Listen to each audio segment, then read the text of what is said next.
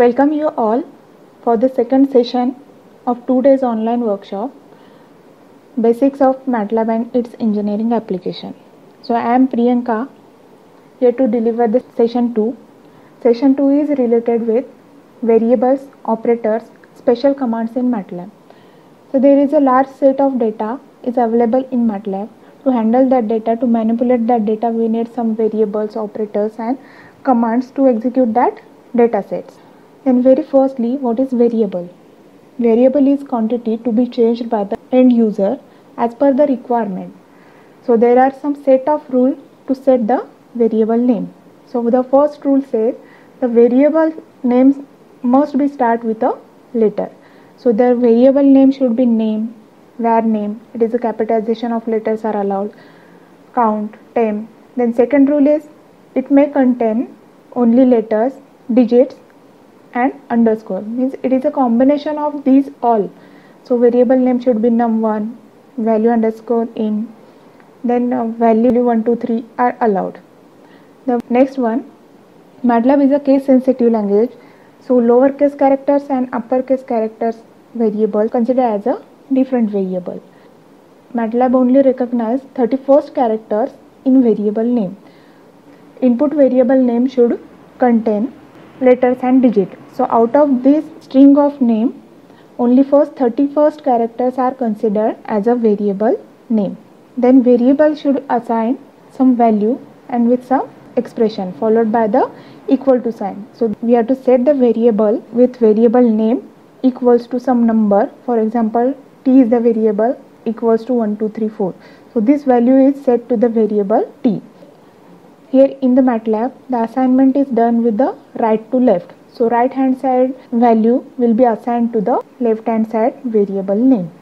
So the same assignment for the expression variable name equal to some expression. So t equals to a plus b. So a plus b operations outcome is variable t. Then there are some special kind of predefined variables are available in MATLAB like mathematical function pi there is a default variable name. If we, we are not putting any variable name then it takes a uh, default value as ans then epsilon then infinity. For infinity inf is a variable name. So there are multiple uh, predefined functions in matlab. We'll see at the time of demonstration. So next is that there are some commands involved with the variable. So to display the variable list that are defined by user so that list we can fetch with the command who. And that list content or that list size and details about that list of variable is get from the command whos so this clear command clear name command clc command to clear the screen clf command to clear the figure window. So like that multiple variable related commands are there. Then format function. So default format is considered as a short if we are not giving any format to the variable so it automatically or it take default the format as a short format. So there are different formats to display the variable. So like format short format long. In format short it display the fixed value with the 5 decimal places. Then uh, format long with the uh, fixed point value with the 15 decimal places some floating point values are also format using format short e, format long e, like that. Format compact is used to suppress the extra line feed format. So it take the um, uh, default format as a double for the integer value. So like that we can set the format for the uh, different functions or different variables. Next are the operators. Operators are the symbol which tells compiler to do the operation on that variables so that variables will be defined by the users so what is now what is mean by compiler? So what is the task of compiler? The compiler convert the high level language to the machine level language. Or matlab language is the high level language which by the compiler it convert to the low level language. So there are some standard operators we using for the mathematical operations like like addition subtraction multiplication left division right division like that. Some point wise operators are also there. If we are defining some array or matrices we are defining in the variable, then pointwise operator do the operation element by element. It will do the operation element by element addition subtraction multiplication kind of operations we can do with these pointwise operators. Then some logical operators are there. Logical operators are used to compare two variables. Either they are equal greater less greater than or equal to not equal to so like that. For logical operator we are considering true value as value 1 or one value as considered as a true and 0 is considered as a false value. So to define the logical operations comparison we use these logical operators. Then there are some special commands which used to import and export the data from the file to the workspace and from command window to the file. There is a special command for importing and exporting data. We can import the data using import wizard from the file or from the workspace or we can use the command save and load of variable to the file as well as to the workspace. So we'll see the demonstration of these two commands uh, very shortly. We'll next. Then there are some mathematical functions also available. Like absolute values we are defining, some trigonometric functions we can use. Then uh, calculate some fixed value, round value, square root, some complex number and real number can find from this function. Then some more mathematical functions to get the maximum and minimum value from the array if we define the array in the variable then we can find the maximum out of that and minimum out of that. We can sort that element in ascending order or in descending order. We can get the differences and some natural uh, numerical gradient of that number. For the set of variable we can do the mean operation median operation standard deviation and some variance kind of function mathematical function we can do with the commands. Now let's switch to the MATLAB desktop. So we have to do the practice on this command window for the variables for um, operators and commands. So here we start with our basic commands. We are start with the defining the variable in the command window. So right now we are in the current directory that is in C folder MATLAB workshop 20 session 2 if we set the variable as value value equals to 100 then that value the 100 value is stored in the variable name as value and that value is get displayed in the workspace. So in workspace if we click on value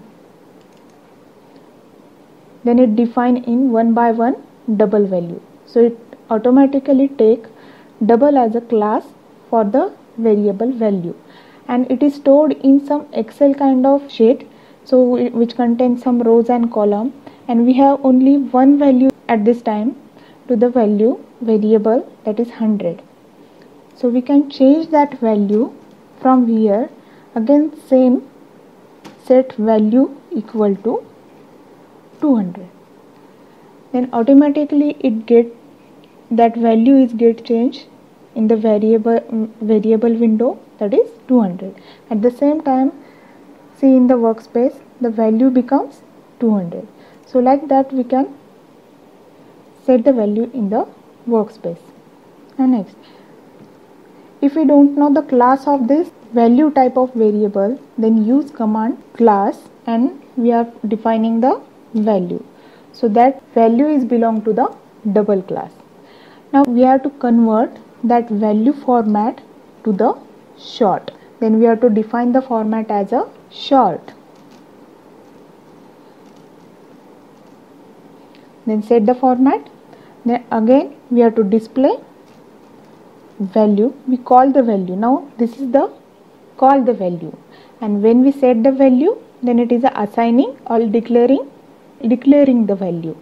Now here we call the value as 200 now here we cannot specify the difference in between uh, double and short but we can check the class of that value. It is again double. So it is only displaying kind of function is get from the format short. If we define next value 1 equal to some float value we, we are defining so it is 10.47589 so like that. Some floating point we are defining some decimal value we are defining. Now in the short format we are defining 10.475876 so 6 decimal point uh, places after the decimal point. But we are getting 10.4759 it is 4 decimal places after the decimal point. So it is a format for short. Now we have to change the format for long so what long format will get? Long format will get 15 decimal places after decimal point. So hit enter and again call for value 1 so 15 places after decimal point will get. This is a long format. Now again check for format compact. What will get? We get the compact format for value that compact format is for string variable sorry. So we'll see format bank. So two decimal places we get from this format bank two decimal places after the point. So there are three formats we uh, check for this decimal point variable format short format long and format bank.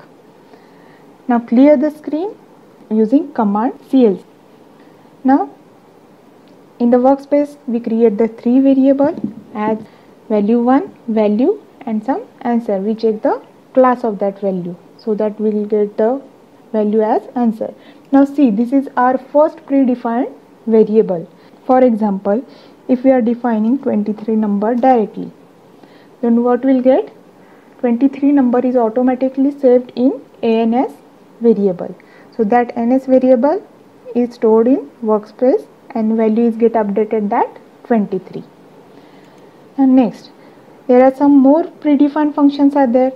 Now next function is the pi function. If we write pi then it automatically get value 3.14 if we call the value of infinity then it is a infinity value will be stored in variable so these are some predefined variables which are already stored in the MATLAB.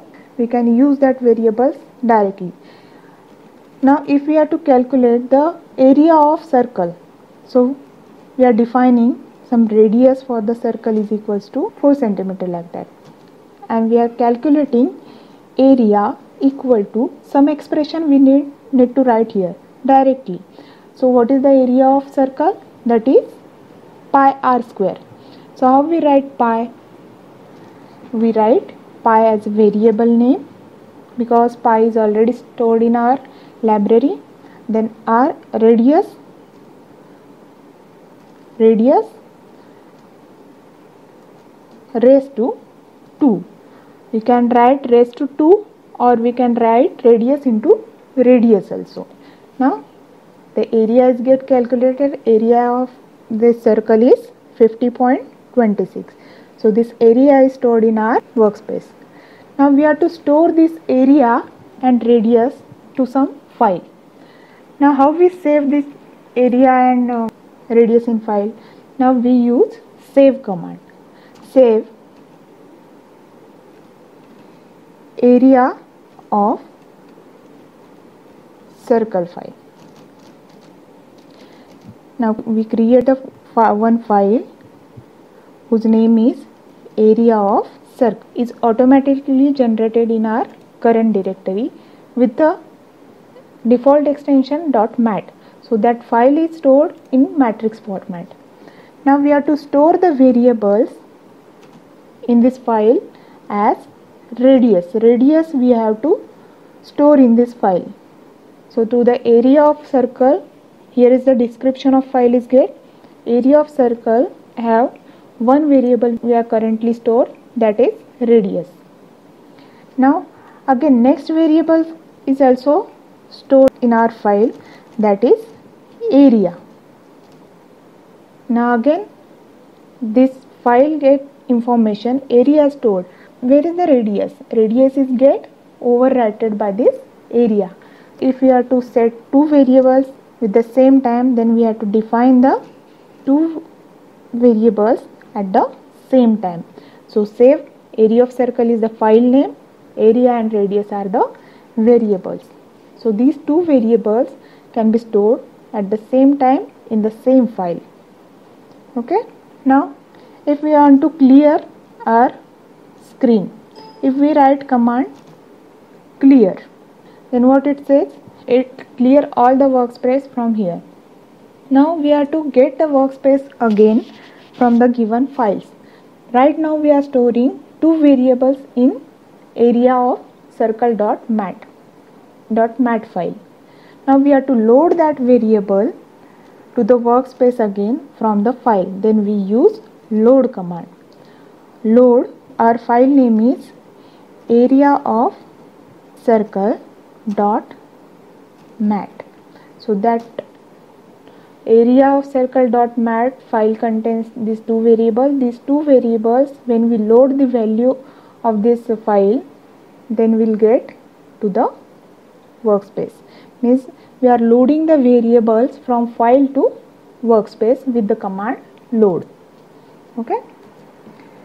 Now clear the screen. Now next if we want to check how many variables we are created till now then we use who command. Who means right now who is in in the workspace. That information is given by the who command. So your variables are area and radius. If we add more variables like radius 1 equals to 2.5 like that. So that 2.5 radius 1 is also stored. Then we again check who. So there are variables that are area radius and radius 1 are available in workspace. Now again next command is whos. Whos means with the details of each and every variable will get from the command whos. so what are the name of variables? What is the size of variable? How many bytes it gets stored? Which, which that um, variable belongs to which class? So that all information displayed with the command whos if we are changing the format to short now area becomes like this radius become this and radius 1 become this now again check for whos. now the information is same because we are storing numeric value in this variable. So the byte content it is a 8 byte class is double and there is no attribute till now. We are assigning to that variable. Now clear the screen to take the take more examples. If you want to take the string as an input so our input is we create one variable first. That is name. Name equals to we put the variable name name equal to some string. So it become a string format string. So we check for the class of name. So what will it get? It get class as character. So we are defining, we are setting name variable with some string value with some character value. So the class is get changed. That is a character class. Likewise we can input the string using uh, input command. For example x is equals to enter x. So this is the user defined input we can say. So x is get. What it asks for user? If we set x is equals to input enter x. So in command window we need to enter or what we need to put. So we have to put the value for x then only our output is get executed. So output is get executed.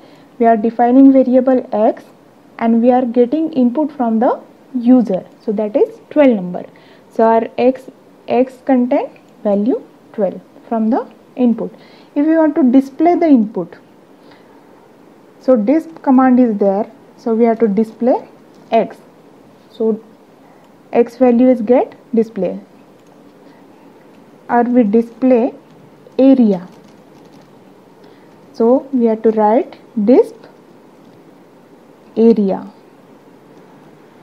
So we already calculate the area that is 50.2655 so that output is get display on the screen.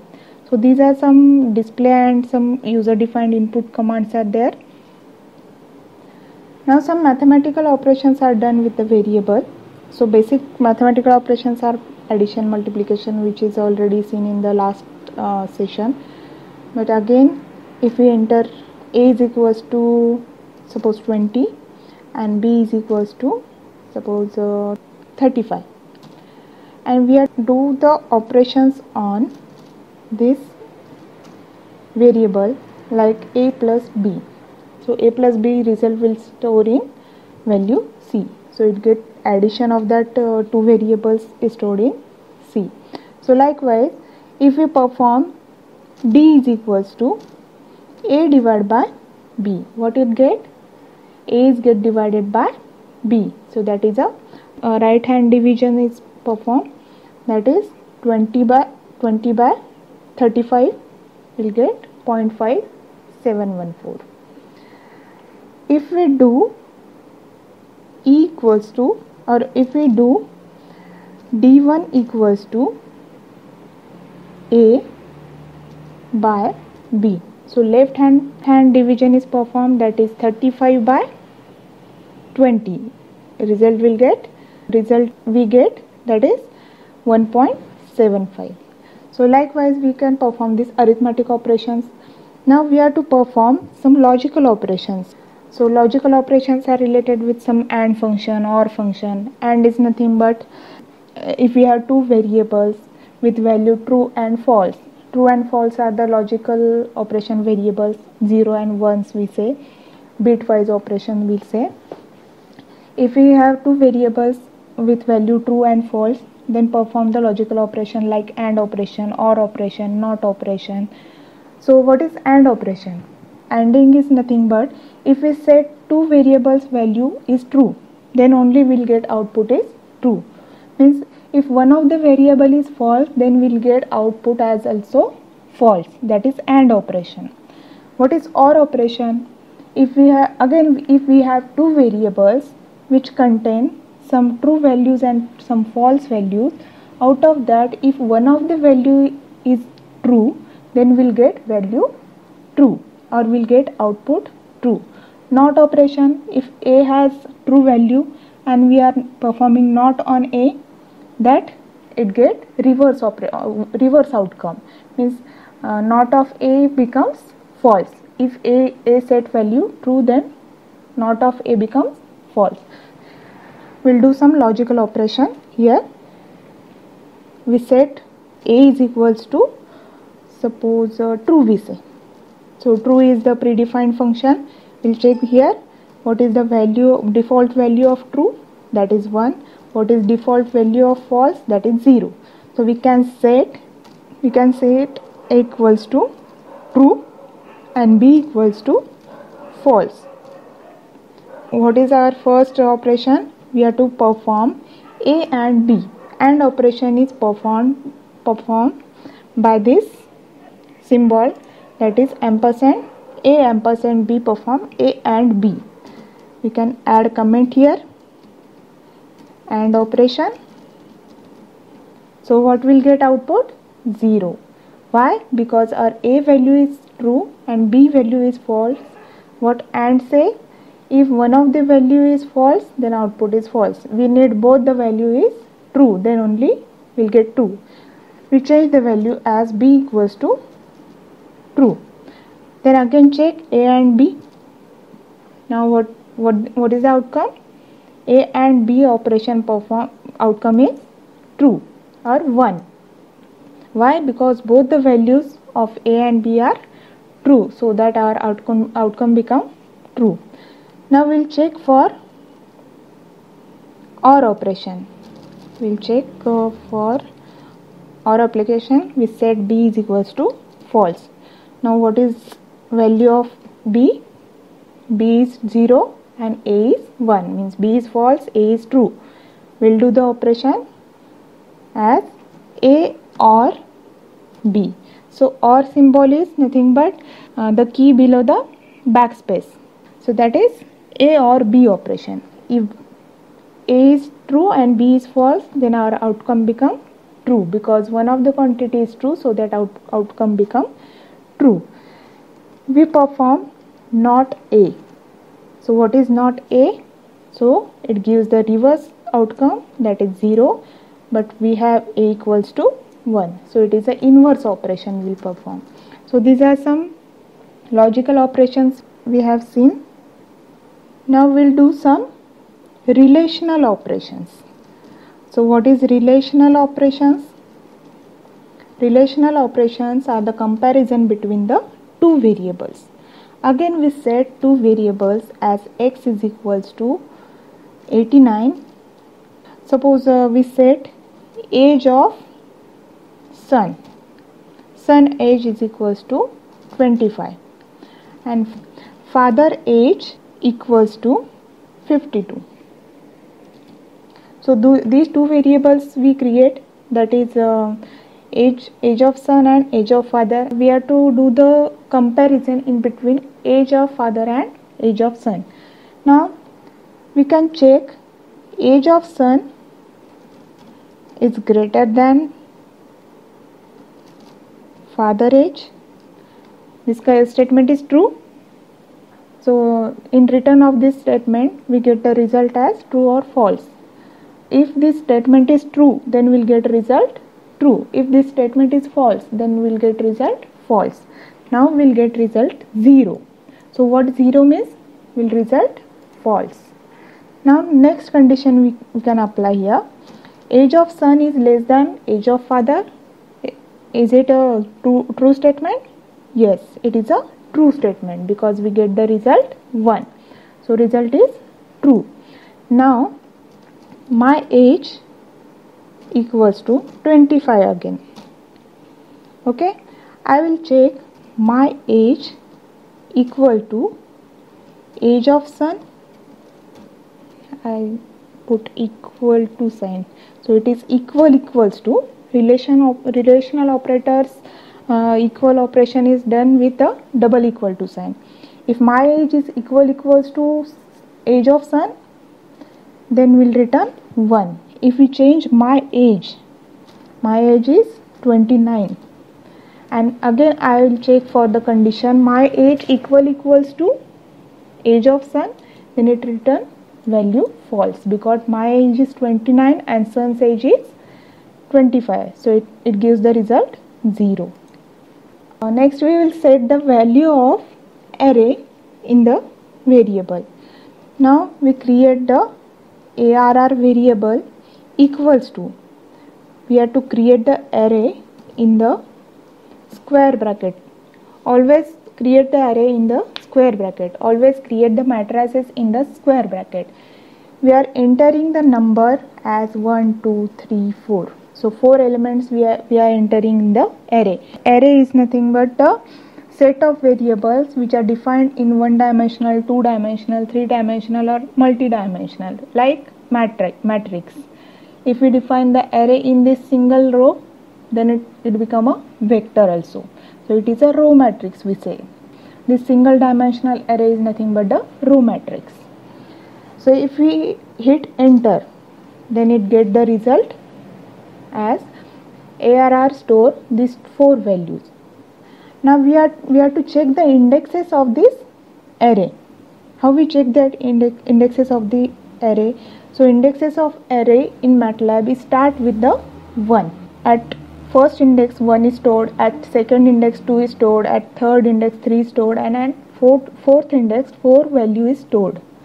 Now we have to check with the index 2 so at index 2 which value is stored? So it store value 2 or we define second one more array. Array 1 so value become 2 9 8 or uh, we can define the array separated by commas also.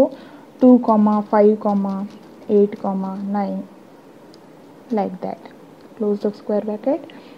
Now again we check the index for array 1 so it become 5 so what it gives? It gives value at second index now if we are considering this array and array 1 are the two sets then perform some operations on this two sets. Then first operation is intersect. So intersect of array a array array and array 1 so what is the common part in, bet in, in between these two array? 1 2 3 4 2 5 7 9 what is the common part?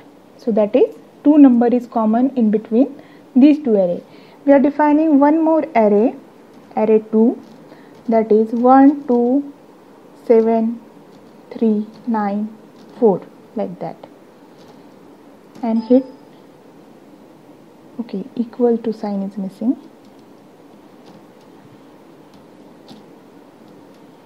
okay hit enter. Then array 2 contain 1 2 7 3 9 8 3 9 4 number. And again we check the intersect array array 1 and array 2 so what is the common part in this 4 array? Okay we cannot uh, invalid input is there okay we check for once again. ARR has this ARR1 has these values ARRY2 has these values. And again ARR y 3 element we are uh, creating. That is 1 5 8 9 and 3 suppose. Now check for the intersection. Intersection for array 2 and array 3 first two let's get cleared. Okay. Now hit enter. Now from array 2 and array 3 these three numbers are common or intersect each other. Again we can use uh, union of these two array array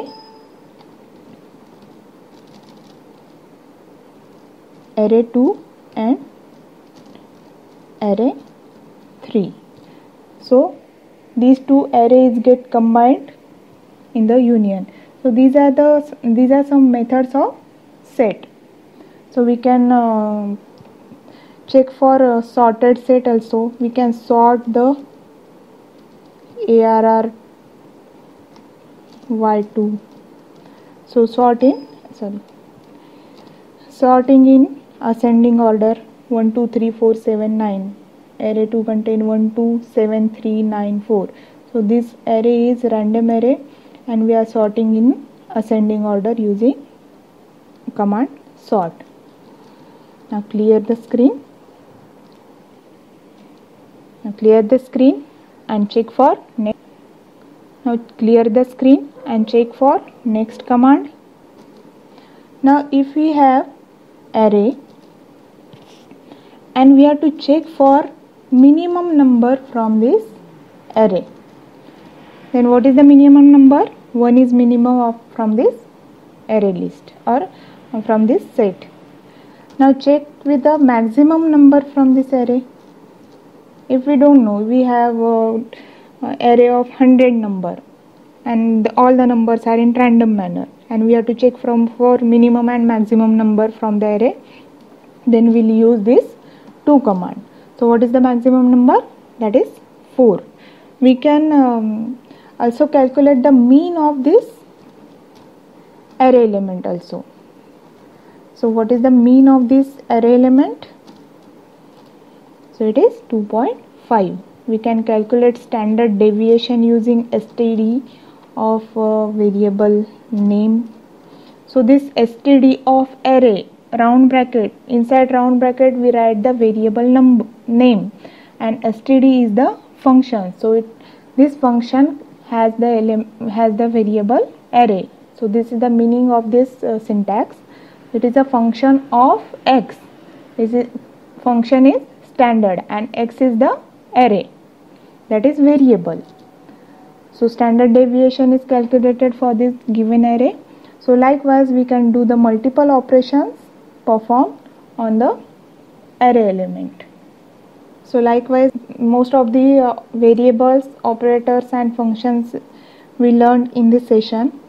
And this is the exercise 2 based on this ses session. You have to find out the answers for this session and do the practice. And uh, more fo focus on the practice. Get the help from the matlab. Get the help from help from mathwork.com and do the operations do the variable set the variable in matlab window and uh, access that variable using save and load command and perform these operations or perform this exercise. In next session we learn about vectors and matrices and their operations some analyzing and visualization kind of uh, kind of operations we will see in the next session. Thank you for watching this session. If you have any doubt then drop your message in the comment box. Thank you